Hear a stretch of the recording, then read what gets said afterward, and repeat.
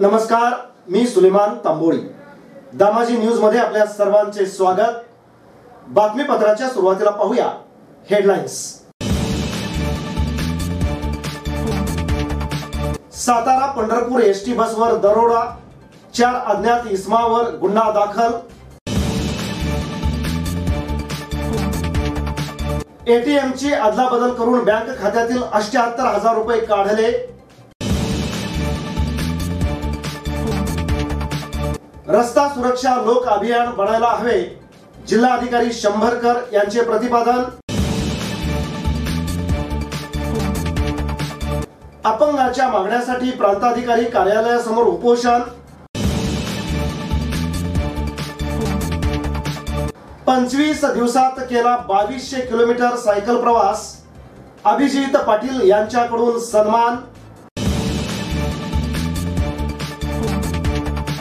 आणि सोलापूर ग्रामीणमध्ये नवीन एकोणीस रुग्णांची भर एकूण रुग्णसंख्या झाली एकोणचाळीस हजार एकशे बासष्ट.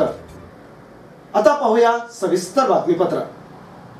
सातारा पंढरपूर एस टी बसवर दगडफेक करून दरोडेखोरांनी ताबा मिळवल्याची घटना पिलीव घाटात घडली. दरोड्याच्या उद्देशाने दहा ते बारा दरोडेखोरांनी ही दगडफेक केली. यामध्ये बस चालक एक मोटारसायकल चालक तसेच काही प्रवासी जखमी झाले. मंगळवारी रात्री ही घटना घडली असून माळशिरस पोलीस ठाण्यात या प्रकरणी चार अज्ञात इसमावर गुन्हा दाखल करण्यात आला आहे. एसटी बसच्या बाबतीत घडलेल्या या घटनेमुळे नागरिकांमध्ये भीतीचे वातावरण पसरले आहे. पिलीव घाटात घडलेल्या या घटनेमध्ये एसटी बसचा चालक एक मोटारसायकल स्वार आणि बसमधील काही प्रवासी जखमी झाले आहेत. याचप्रमाणे बसचे मोठे नुकसान झाले आहे. मंगळवारी रात्री साडेदहाच्या सुमारास ही घटना घडली आहे. याबाबत सविस्तर वृत्त असे की सातारा पंढरपूर ही एस टी बस पिलीव घाटात असताना दहा ते बारा अज्ञात दरोडेखोरांनी बस आणि मोटारसायकल चालकावर दगडफेक केली. यामध्ये बसच्या काचा फुटल्या. मोटारसायकल चालक तसेच बसमधील काही प्रवासी आणि बस चालक जखमी झाला. यानंतर या दरोडेखोरांनी गाडी थांबवत बसवर ताबा मिळवला. एसटीतील प्रवाशांना मारहाण करण्यात आली. बसच्या काचा फुटल्याने मोठे नुकसान झाले. पंढरपूरकडून साताऱ्याकडे ही बस जात असताना ही घटना घडली. पंढरपूर सातारा रस्ता दोन्ही बाजूनी बंद करण्यात आला. ही घटना सोलापूर जिल्ह्याच्या हद्दीत घडली आहे.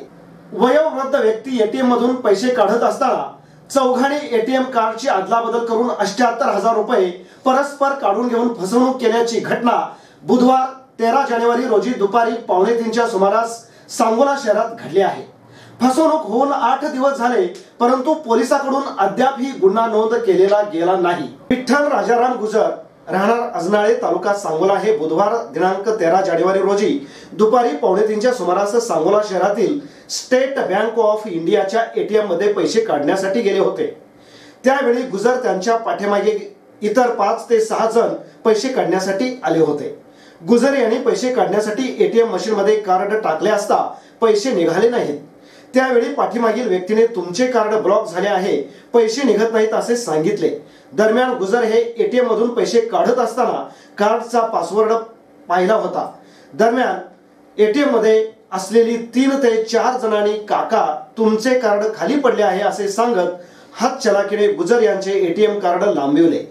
पैसे निघत नसल्याने गुजर एटीएम बाहेर आल्यानंतर त्यांना मोबाईलवर पैसे काढल्याचे मेसेज आले. गुजर यांनी आपण पैसे तर काढले नाहीत. आणि पैसे काढल्याचा मेसेज आल्याने त्यांनी स्टेट बँकेच्या सांगोला शाखेत धाव घेऊन एटीएम कार्ड ब्लॉक केले. तोपर्यंत विठ्ठल गुजर यांच्या खात्यातून अष्ट्याहत्तर हजार रुपये काढल्याचे निदर्शनास आले होते. रस्ता सुरक्षा अभियान लोक अभियान बनायला हवे. तरच रस्ता सुरक्षेबाबत जाणीव जागृती होईल असे प्रतिपादन जिल्हाधिकारी मिलिंद शंभरकर यांनी व्यक्त केले. जिल्हा रस्ता सुरक्षा समिती परिवहन विभाग शहर आणि ग्रामीण पोलीस विभाग सार्वजनिक बांधकाम विभाग आणि राष्ट्रीय महामार्ग प्राधिकरण यांच्या संयुक्त विद्यमाने राष्ट्रीय रस्ता सुरक्षा अभियान आयोजित करण्यात आले होते. त्याच्या उद्घाटनाप्रसंगी जिल्हाधिकारी शंभरकर बोलत होते. यावेळी पोलीस अधीक्षक तेजस्वी सातपुते जिल्हा परिषदेचे मुख्य कार्यकारी अधिकारी दिलीप स्वामी राष्ट्रीय महामार्ग प्राधिकरणाचे प्रकल्प संचालक संजय कदम पोलीस उपायुक्त दिलीप घाटे घोडगे माजी नगरसेवक दिलीप कोल्हे उपप्रादेशिक परिवहन अधिकारी संजय डोळे अर्चना गायकवाड आदी उपस्थित होते. शंभरकर म्हणाले रस्ता सुरक्षेबाबत समाजात साक्षरता होण्याची आवश्यकता आहे. हे अभियान केवळ शासनाचे न राहता समाजातील प्रत्येक घटकांचे बनायला हवे. प्रहार अपंग क्रांती आंदोलन संघटनेच्या वतीने पंढरपूर येथील प्रांताधिकारी कार्यालयासमोर दिव्यांगाच्या विविध मागण्यासाठी व प्रशासनाच्या उदासीनतेमुळे होत असलेल्या विलंबनाच्या विरोधात आमरण उपोषण सुरू करण्यात आले आहे.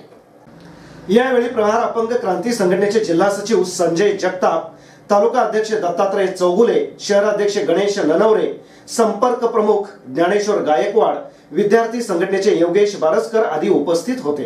प्रहार अपंग क्रांती आंदोलन संघटनेच्या वतीने अनेक वेळा दिव्यांगांच्या विविध मागण्याबाबत निवेदने देऊन आंदोलने करूनही स्थानिक प्रशासनाकडून कोणत्याही प्रकारची दखल घेतली जात नसल्याने अखेर बुधवारी प्रहार संघटनेच्या वतीने पंढरपूर प्रांताधिकारी कार्यालयासमोर आमरण उपोषण सुरू करून प्रशासनाविरोधात एल्गार पुकारण्यात आला आहे.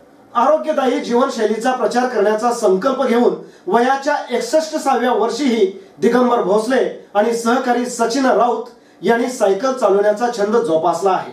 या जोडीने तब्बल बावीसशे किलोमीटरचा प्रवास पंचवीस दिवसात पूर्ण केला आहे. त्यांच्या या अभूतपूर्व कामगिरीनिमित्त त्यांचा सत्कार उद्योजक अभिजित पाटील यांच्याकडून करण्यात आला. रुक्मिणी माता मंदिर पंढरपूर ते काली माता मंदिर पश्चिम बंगाल असा विविध राज्यामधून त्यांनी प्रवास पूर्ण केला आहे. आरोग्य पूर्णता प्रदूषण मुक्त भारत कोरोनामुक्त भारत याबाबत जनजागृती व्हावी असाही यामागील उद्देश असल्याचे या सायकल वीरांनी सांगितले.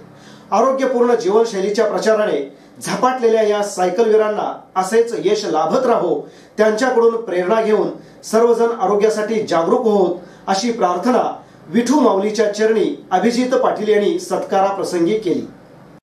ग्रामीण भागात बुधवार दिनांक वीस जानेवारी रोजी दुपारी आलेल्या अहवालानुसार मंगळवारी रात्री बारा वाजेपर्यंत ग्रामीण भागातील एकोणीस जणांचे अहवाल पॉझिटिव्ह आले आहेत.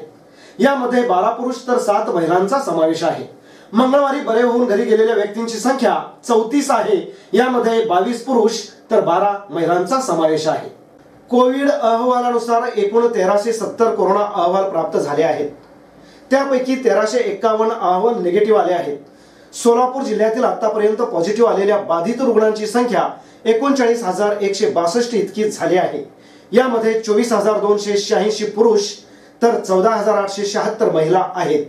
आतापर्यंत सोलापूर जिल्ह्यातील ग्रामीण भागात मृतांची संख्या अकराशे पन्नास झाली आहे. यात आठशे सत्तावीस पुरुष व तीनशे तेवीस महिलांचा समावेश आहे.